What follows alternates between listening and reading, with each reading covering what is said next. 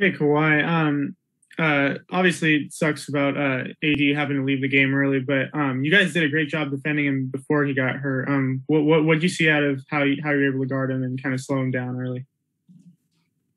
Just putting bodies in front of him. Um, you know, he, he's a great basketball player, one of a kind.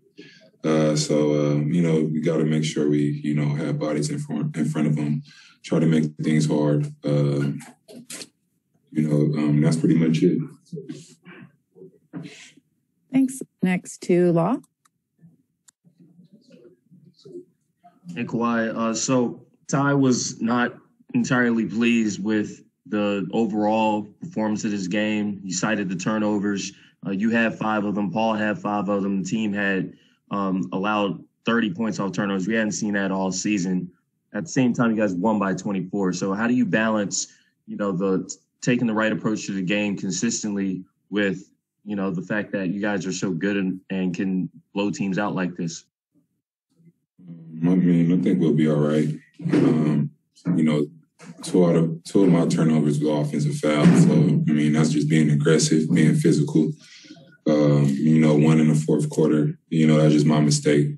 Uh, not staying locked in, being up twenty points. So, you know, uh, you know, we could live with that. But um, you know, we just can't be passing another team in basketball and letting them come down and transition and shooting threes or getting layups was this is a Lakers team. They're they've forced 20 turnovers plenty of times this season, twice against you guys. I mean, is there concerns about what they do defensively, or is this really just about you guys making sure that you keep your habits good?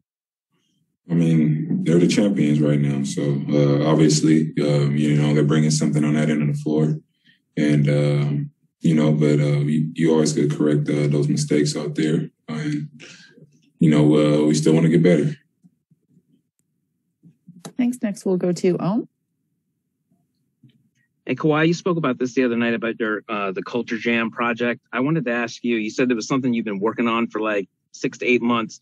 What exactly is your role in the project, and uh, why is it so important to you? Um, like I said before, uh, you know, it's just it's merging, uh, you know, basketball and the music. Um, you know, uh, it's, it's going to help uplift our community. Um, some of the streams are going to go to the Mamba uh, Mambacita uh, Foundation, and you know, it, it's just giving back. Um, you know, I listen to some of these artists that's going to be on the album. Uh, it's a lot of uh, a lot of the hottest artists is on there. Just pretty much just putting songs together, um, collaborating with the art with the artists, um, making sure we give it back to the community from there. Did you um, start this, or is this like you said you collaborate? Is this something you're financing, or is this something you're pretty involved in? And how are you involved in it? Uh, just pretty much, like I said, uh, connecting with the artists, putting, uh, seeing if they want to put songs together to put it on the album, uh, and you know, they're, they're all they all want to be a part of it, and from there, uh, you know, they, they're doing their magic with, uh, you know, what they do with their, uh, with the producers that make the beats and with their own lyrics. And, you know, from there, they're making magic with the song. And then hopefully the people like it and it's going to stream and it's going to get back to a foundation. And one more question. Why, uh, why was it important for you to pick Mamba and Mambacita Foundation? I mean, I know you have your connection with Kobe, but I was wondering why you picked there them. There it is. That's, there it is. Thank you. Thanks, Ohm. Next, we'll go to Shane. Hey Kawhi, almost 70 games in now. We obviously know about the impact Nic Batum has on the floor, but what is he? How fun has he been to be around in the locker room, and what has he meant from a leadership dynamic this year?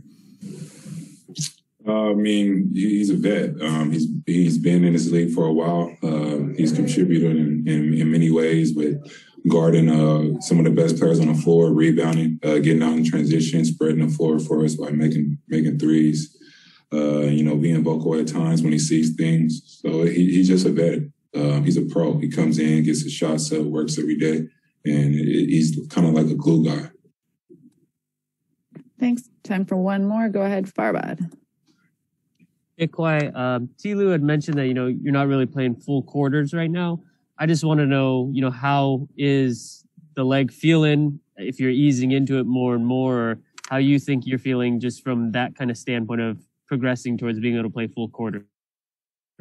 I feel I feel good. I mean, you know, I'm ready to go. Um, you know, I'm just happy to be on the floor and not sitting on the sidelines. Uh, I'm able to play the game I love. Thanks, Kawhi. Enjoy the rest of your night.